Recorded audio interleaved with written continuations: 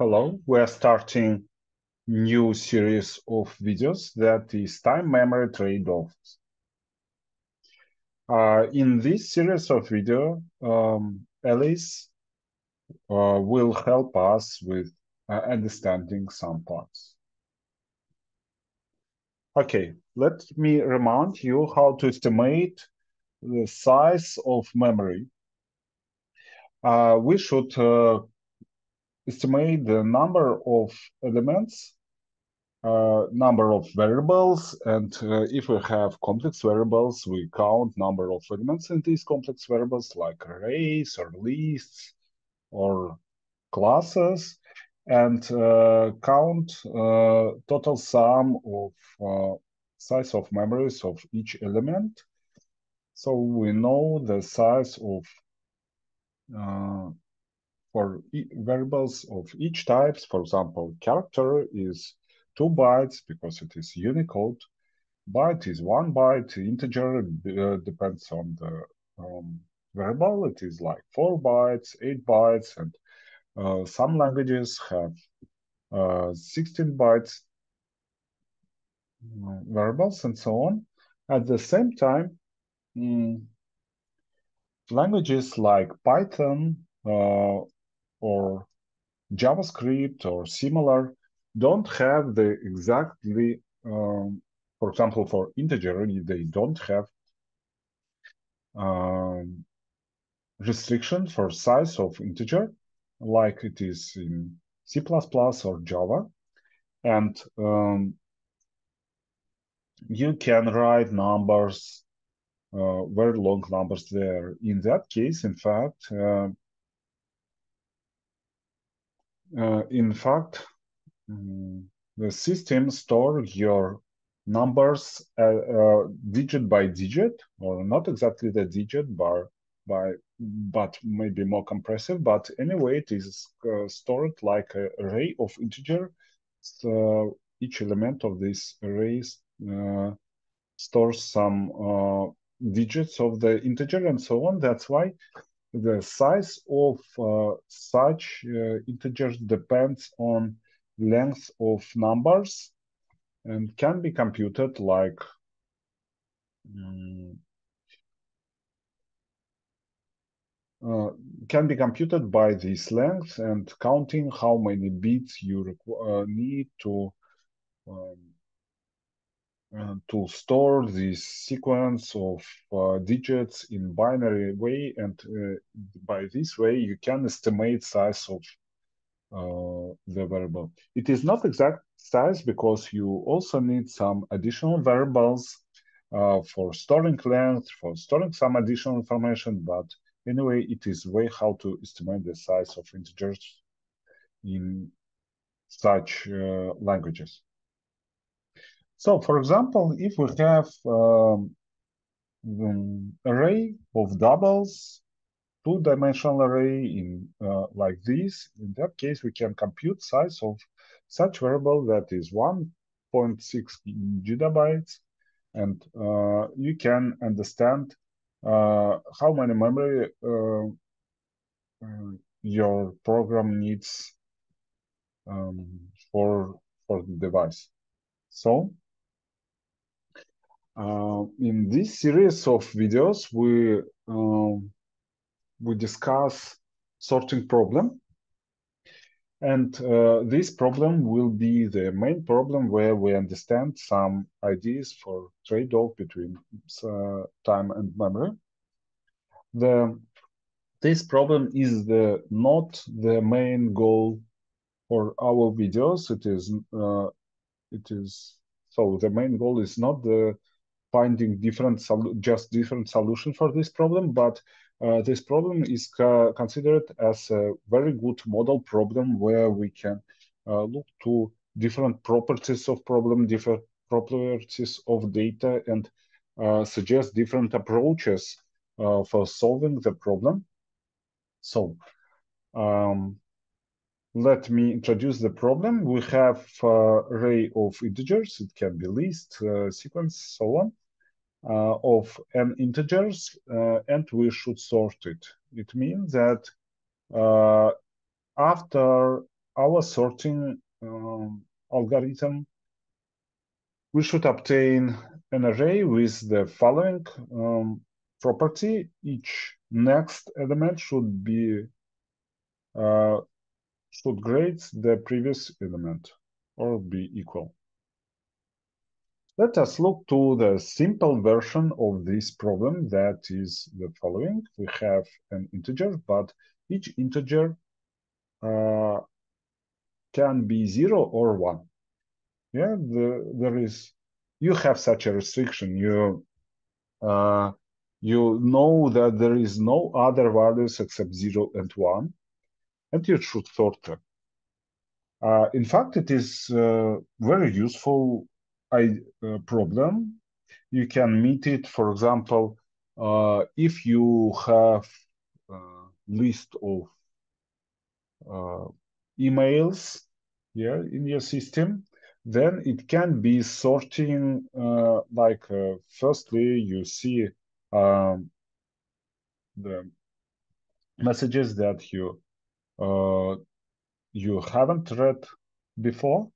And after that, it, uh, the message that you uh, already uh, opened. So um, that's why uh, they have this uh, indicator zero or one that uh, you can use for sorting. So firstly with indicator zero, then indicator one. Okay, we want to sort them how to do it.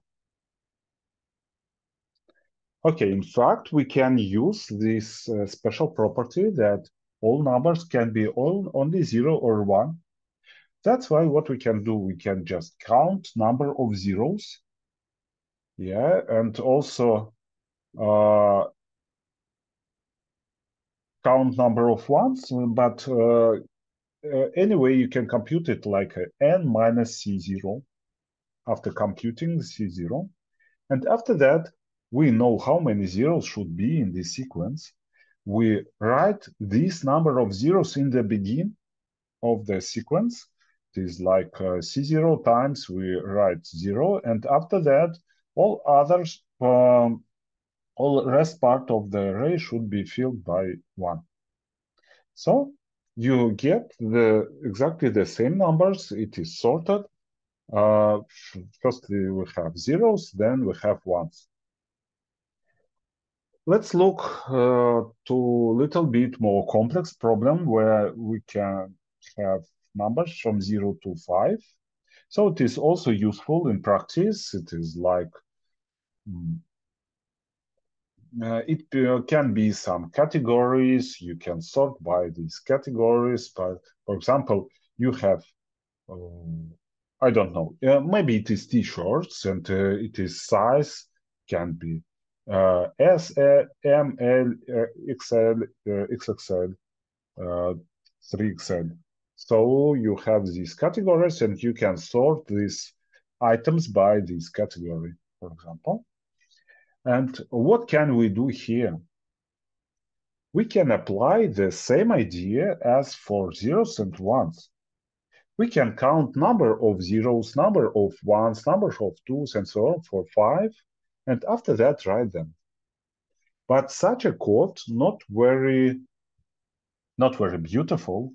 It is uh, very big, and we can uh, write it shorter in shorter way.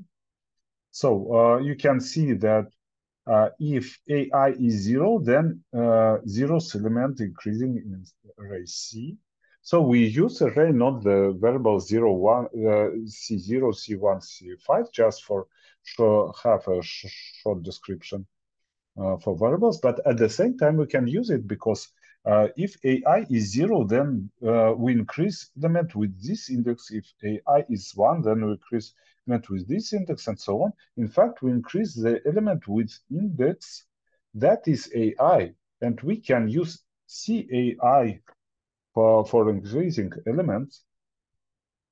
Uh, so after that, we just write uh, required number of zeros, required number of ones, required number of two, and so on.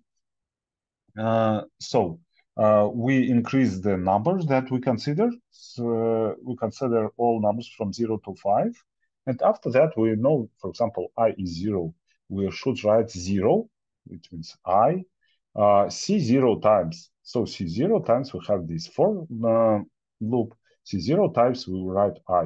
Then c one times we write one. Then c two times we write two, and so on. And we have um, index k as a common index for uh, this uh, result array uh, that we construct. So we can uh, discuss the common version of this problem if we have all numbers, all integer numbers from zero to some pi, p minus one and p is known uh, before. So we have such a restriction for our data. So then we can uh, use the same idea and we can use the array that is counters for each uh, possible value and the size of this counter is pp. So um, then we have a for for all possible values from 0 to p. So, uh, in fact, uh, the this uh, firstly this algorithm called counting sort, and secondly, uh, in fact, you can use uh, this idea not only for the case when the numbers from zero to p minus one, but if you have some restrictions uh, P is a is the difference between maximal possible value and minimal possible value. So, for example, you know that all numbers that you have from billion to billion ten, yeah, there are only 11 possible values. In that case, you can use this sorting uh, counting sort algorithm, and P is 11 in that case uh, you don't need to have uh, billion 10 as a value of p. It is enough to have um, uh, p, uh, p equals 11 and you put here i from billion to billion 10 plus 1. Okay, you can use it uh, and p is in fact not the maximal value but difference between maximal value and minimal value. So let us estimate the size of memory. Uh, we can estimate it using uh, analyzing the size of variables. Here, the most big variable is the array C, that is counter for each possible value. Um, okay, uh, for size P, uh, because it is int, it is 4 times p bytes is about 4000 bytes but uh, at the same time typically we don't use uh, exactly number because also we should count the size of these variables these variables k i j and so on. Uh, that's why we just uh, use uh, also asymptotically size of memory. That is mostly enough for us. It is for of p bytes. And what about time complexity? Uh, we can count it. The first for loop, it is uh, first for loop uh, does n steps, and second this for loop does p step.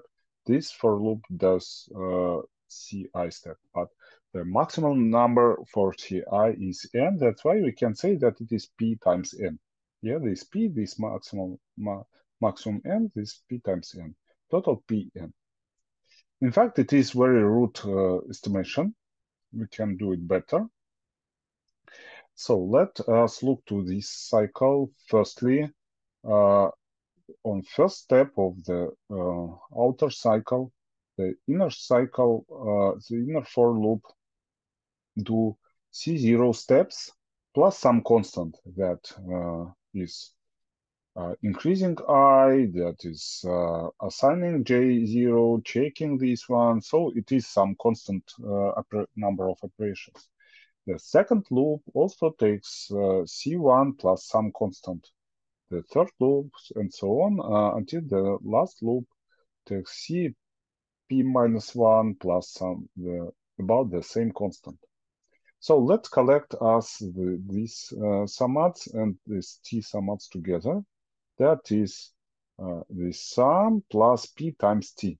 So the right p times this p times some constant. Yeah, okay. Uh, we know that is number of zeros, number of ones, number of two, and so on, number of p minus one. Uh, at the same time, it is the total number of elements in our original array. So that's why it is n, and here p times constant, that is n plus p. Uh, we can also uh, count the uh, compute the time complexity in other way on each. Um, so we have at least p steps here for this for loop. Anyway, is it uh, zero number of steps in the inner loop or not? That's why it's here p. And also uh, for total number of steps, it has at least n steps because uh, we count these k plus plus on each assigning, and uh, the we write in fact that the same number uh, of elements as it was in the original array, and uh, uh, in the last step k is n. That's why it is n n plus p. So we can see that uh, more careful analyzing of time complexity give us better uh, better result, and uh, the initial uh, root uh, analysis of time complexity uh, can be like bad time complexity. We can think that we find good solution, but we think, oh, it is bad time complexity. We don't implement it, but in fact, better, more careful analyzing give us uh,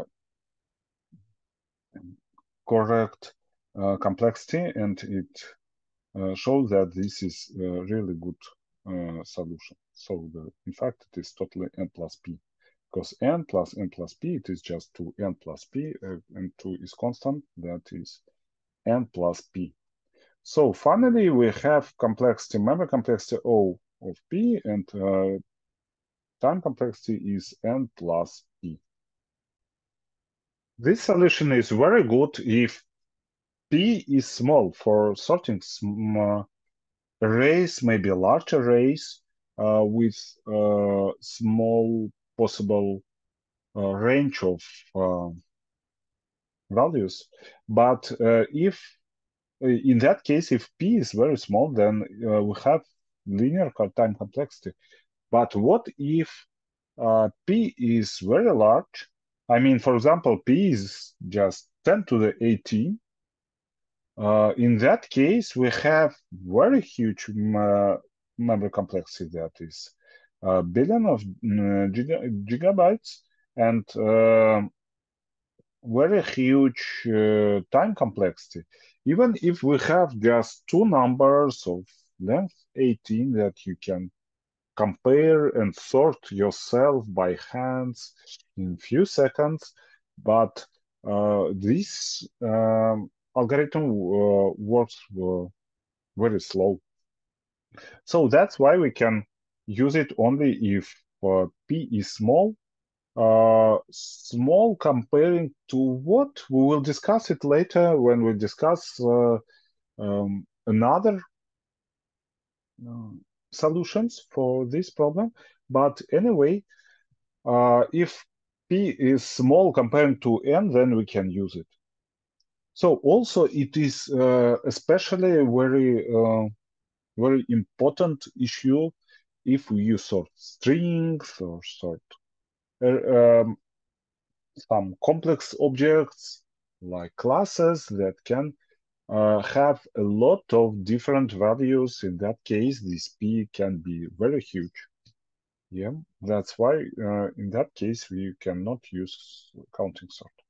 So we have the first solution for our uh, problem uh, with such um, properties. And next we will discuss another solutions that give us maybe better time complexity, maybe better memory complexity, and we will uh, consider where we pay for time with memory, and maybe sometimes we pay with uh, uh, time for memory. Okay, let us discuss it in the next video.